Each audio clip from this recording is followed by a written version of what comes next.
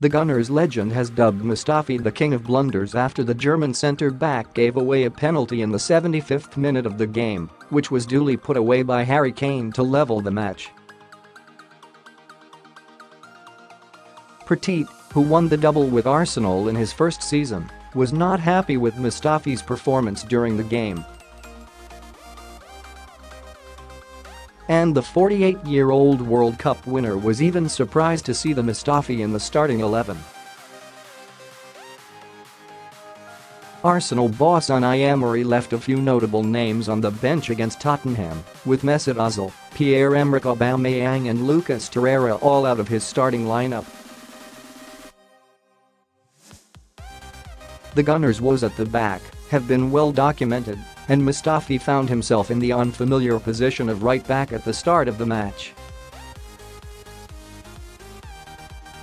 Arsenal made a dream start on taking the lead at Wembley after just 16 minutes when Aaron Ramsey calmly rounded Hugo Lloris before slotting the ball home.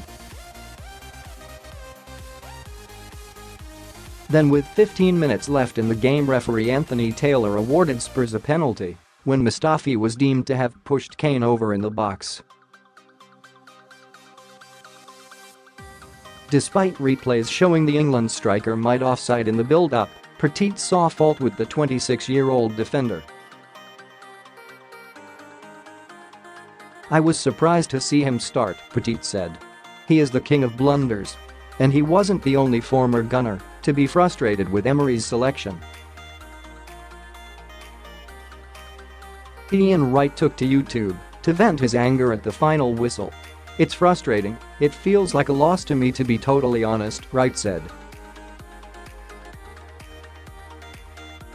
Especially if you look at some of the referee's decisions. Obviously their goal, the penalty was offside.